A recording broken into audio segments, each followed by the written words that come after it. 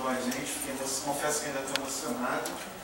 É, faço um esforço para não ficar emocionado, mas acho que todo mundo ficou emocionado depois da fala do Júlio. Né? É, bom, vamos lá, enquanto preparamos os slides, né? É, vai ser difícil superar as emoções que o Júlio trouxe e difícil também falar como o Júlio no púlpito. Né? Eu não tenho essa prática que o Júlio já tem de falar no púlpito. Eu vou tentar, bom, vou começar falando sentado. Se eu me animar, eu vou ao. Mas eu juro para vocês que eu não vou ler. Depois que o Júlio fez, eu não posso ler. Então, ah, chegar o microfone para cá, né? Eu estou um pouco bagunçado aqui ainda, pode deixar que eu já, já, já me acho. Bom, gente, eu queria começar primeiro agradecendo ao arquivo da cidade né, é, pelo convite. Eu acho esse seminário fantástico. A ideia desse seminário é fantástica, esse seminário é, é fantástico. Eu, eu vim nesse seminário há uns três meses atrás como ouvinte, por conta da, do interesse do, do tema. Eu gostaria, como terça-feira é o dia que eu dou aula, e eu, como eu estou em Pada, não tem como vir to, é, toda segunda terça do mês, mas a vontade que eu tenho é de vir aqui para assistir os colegas, são trabalhos sempre muito interessantes sobre escravidão. Bom, é, eu vou falar um pouco de uma perspectiva, eu vou falar de uma perspectiva um pouco diferente da do Júlio. É, o Júlio ele fala, enfim, vai falar dos escravos a partir da perspectiva também arqueológica e tudo, e, e da história do, do, cemitério. Eu vou falar um pouco mais da perspectiva médica, é, não da saúde dos escravos, mas sim da construção da própria, é, a construção do próprio saber médico. E eu vou dividir bem a questão como é, eu vou falar, é, vou falar exatamente do saber médico acadêmico e não do, de práticas de cura é, e práticas é, dos africanos, mas sim nas relações da experiência e na experiência, sobretudo da experiência entre a medicina acadêmica é, e os escravizados e a própria escravidão. Você pode passar para mim, por favor? Bom, a minha pesquisa ela começa com, em contraposição a uma historiografia das ciências né, clássica. Né? Aí é uma citação, eu sei que é um pouco grande, do livro A Danação da Norma, né? foi é, é, organizada pelo Roberto Machado é, o livro é de 78. Então, o que ele vai falar sobre é, a relação entre médicos e a, a percepção dos médicos sobre a escravidão no século XIX. Eu vou ler rapidamente, eu juro que eu tenho poucos slides para a gente ler, juro, juro. Mas é, algumas fontes são importantes para a gente entender um pouco também é, sobre o que eu estou falando. Bom, segundo o Roberto Machado, né? É, as perguntas que ele, que ele nos faz. Existe uma reflexão médica que tematiza, é, tematiza é, especificamente a condição do escravo? Existe uma proposta normalizadora relativa à escravidão? É plausível esperar que o discurso médico tome o corpo do escravo como alvo privilegiado da disciplina, dada a sua posição estratégica no conjunto da produção, no campo, mas também na cidade? para moldá-lo com, com insuperável é, eficácia, segundo a racionalidade das necessidades produtivas? Bom, essas são as perguntas que o Roberto Machado faz sobre, a, é, é, so, sobre o conhecimento, sobre o saber médico no século XIX. E se esse saber médico vai tematizar o escravo. Mais à frente no livro, ele vai dizer que não, porque. E a conclusão que ele chega que o que os médicos não tematizaram os escravos em seu conhecimento por conta dos poucos textos médicos que existem com o escravo no título. Né? É, isso a gente vai falar um pouco mais tarde. É, vendo isso, é, eu fiz uma série de questões e as questões que eu proponho, inclusive para responder hoje, é, são sobretudo duas. Né? Seria possível para os médicos, naquele contexto social, ignorar as questões relacionadas aos escravizados? Como o conhecimento e as práticas médicas foram afetados pela escravidão? É, o, que eu quero, o que eu quero tentar mostrar é que naquele contexto era é, impossível que os médicos não tivessem é, contato com o cotidiano da escravidão e, portanto, seria impossível que eles não tivessem sua agenda de construção do conhecimento é, não tivessem tematizado os escravos. Passa para mim, por favor. É, essa, eu queria começar com essas duas imagens, é, são duas imagens belíssimas, né? Uma é, do médico, é, infelizmente essa imagem eu não tenho maiores informações sobre ela, ela está no acervo Antônio Corrêa de Lacerda, mas é um escravo com doenças de pele, inclusive doenças de pele eram é, as doenças que mais, enfim, foram é relatadas pelos médicos. É, for, aliás, as doenças de pele foram muito relatadas pelos médicos. E a outra é uma figura clássica para nós, de um, aliás, de um livro clássico, o é, Memórias sobre as Bobas, de é, Bernardino Antônio Gomes. É, o que acontece é, nesse contexto, o, os médicos, nesse, no contexto do século XIX, os médicos estavam muito preocupados com a geografia médica e em catalogar, em conhecer, em é, mapear e divulgar todo o conhecimento acerca das doenças do, do quadro nosológico brasileiro. Né? E isso não era uma coisa, isso não era algo apenas nacional, não era algo apenas do Brasil. Isso fazia parte de uma perspectiva mundial de medicina. É, Para além disso, diversas teorias é, médicas da época faziam com que o médico tivesse que é, o médico tivesse que conhecer é, muito bem os seus pacientes conhecer toda é, o clima da região, assim como é, as pessoas que popula as populações regionais e de onde partiam essas e onde surgiam essas doenças. Então, para isso era necessário conhecer muito bem as populações. Esse é o primeiro dado para a gente entender por que, que era impossível os médicos não tematizarem os escravos. Você passa, por favor. Então, voltando um pouco do século XIX, algum, é, Alguns tratados foram muito importantes é, para a medicina, nossa, na nossa medicina, ainda no, no Brasil colônia, né, no, enfim, na, no Brasil, no, é, é, no território luso brasileiro.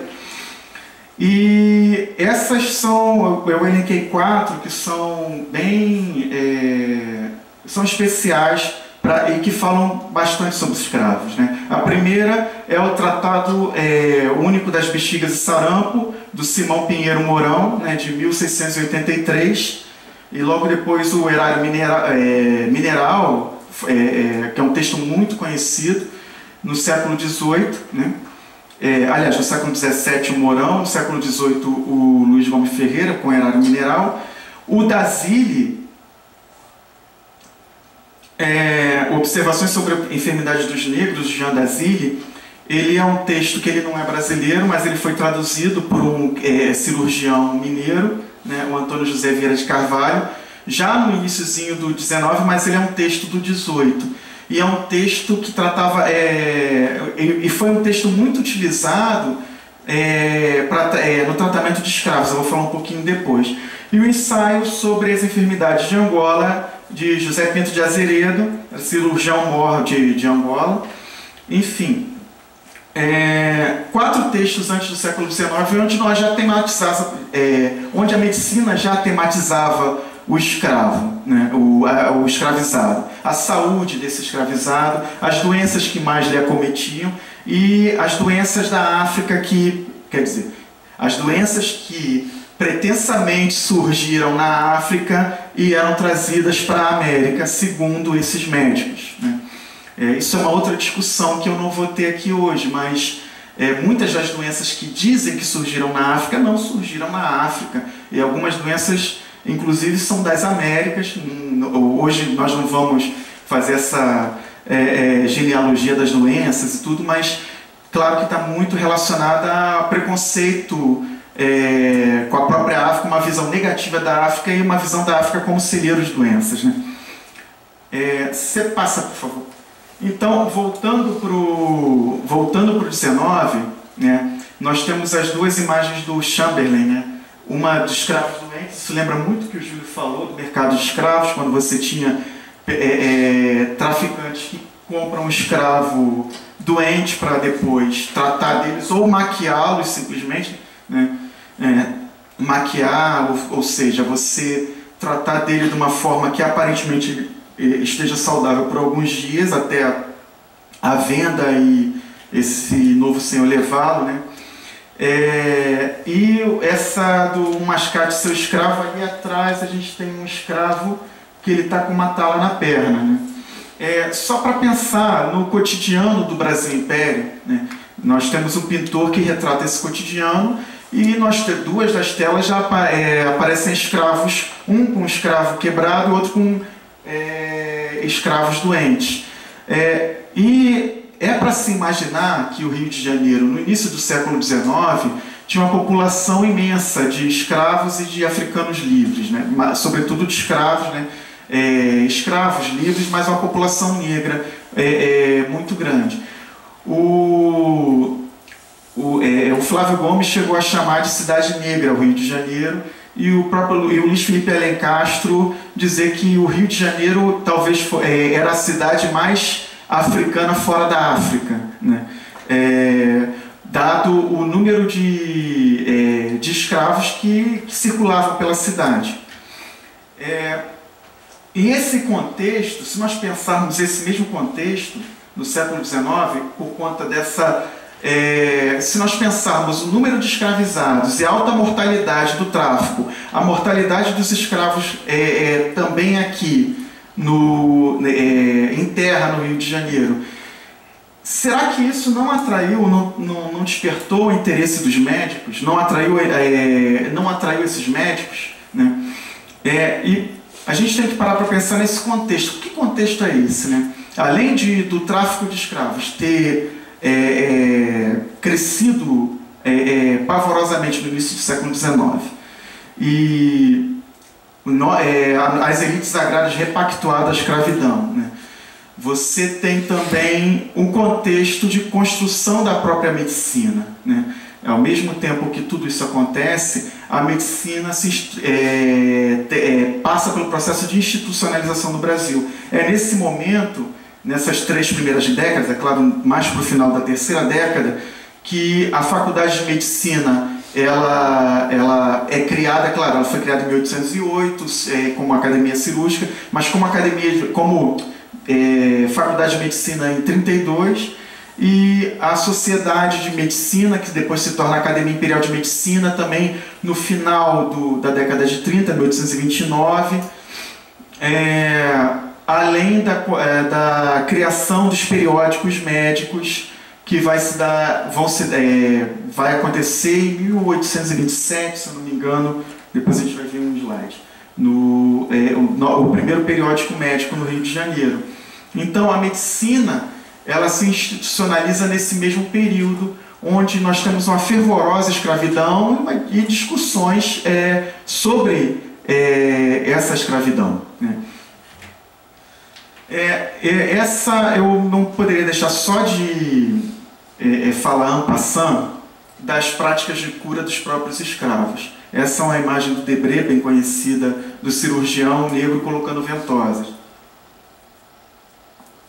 É claro que eu vou falar da medicina ocidental, mas ou da medicina acadêmica, mas os escravizados e os negros tinham suas próprias práticas de cura e efetiva e se nós pensarmos em eficácia nesse momento, as práticas de cura dos negros muitas vezes eram muito mais procuradas do que os próprios médicos acadêmicos.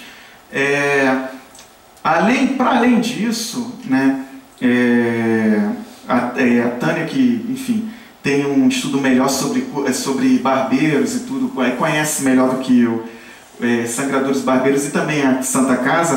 É, na própria Santa Casa você tinha barbeiros negros, né, escravo, tinha um escravo que era barbeiro, que era barbeiro sangrador, e, nós, e tinham outros, além de enfermeiros, escravos, etc., uma série de. É, é como é, uma, uma espécie de mestiçagem entre as duas medicinas. Né?